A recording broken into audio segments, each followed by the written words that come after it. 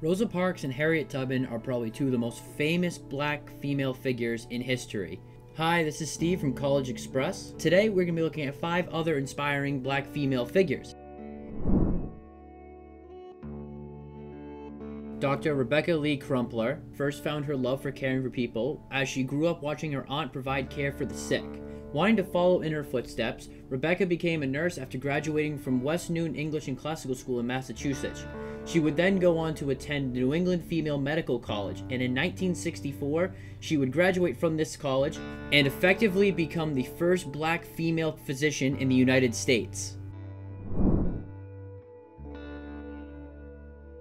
Born and raised in Brooklyn, Shirley Chisholm attended and graduated cum laude from Brooklyn College in 1946. Her fear that her gender and her race created a double handicap for her also drove her to join local chapters of the League of Women's Voters, the National Association for Advancement of Colored People, the NAACP, the Urban League, and the Democratic Party Club of Brooklyn. In 1964, Shirley ran and won a seat on the New York State Legislature and became the second black American to do so. Just four years later, in 1968, Shirley ran and won a seat on Congress, becoming the first black congresswoman, where she used her position to fight for gender and racial equality, as well as impoverished people and an end to the Vietnam War. In 1972, Shirley also became the first woman and first black American to run for president for one of the two major political parties, the Democratic Party. To wrap up her illustrious political career, Shirley became the first black woman and second woman ever in 1977 to serve on the powerful House Rules Committee. Graduating from New York University with a Bachelor's of Science in Education and a Master's in Educational Psychology, Dorothy Height went on to become an activist who championed black and women's rights.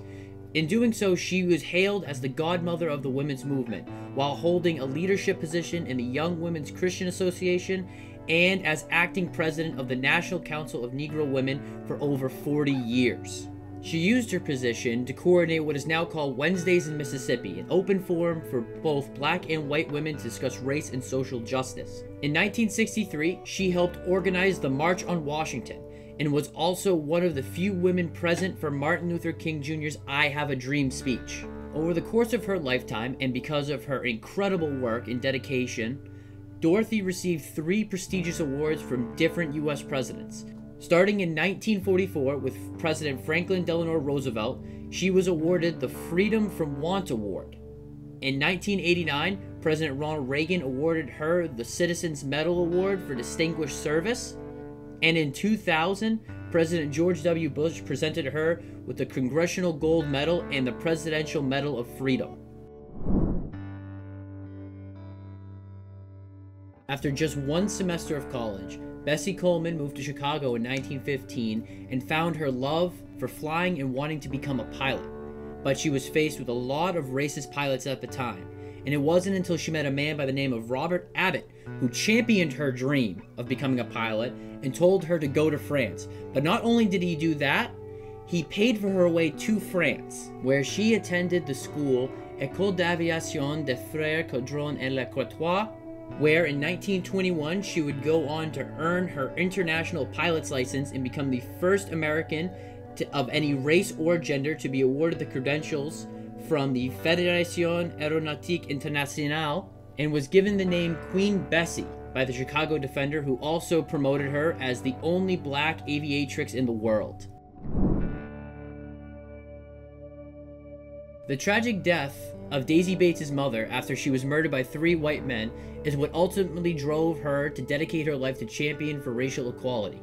When she moved to Little Rock, Arkansas with her husband, they started a newspaper called the Arkansas Weekly. And she used this paper after 1954 to call out schools that were not following the federal mandate that segregated schools were unconstitutional. During this time, she was also the acting president of the Arkansas chapter for the NAACP. Daisy Bates would go on to use this newspaper to help select nine students to integrate into the Central High School in Little Rock in 1957, also known as the Little Rock Nine. and she became a pivotal role for these students in their protection and success in school. Later on, she would go on to write a book about these experiences called The Long Shadow of Little Rock, which would go on to win an American Book Award. If you like this video, make sure to like and hit that subscribe button. Also, click the bell button if you want to know when the next video goes live for a notification.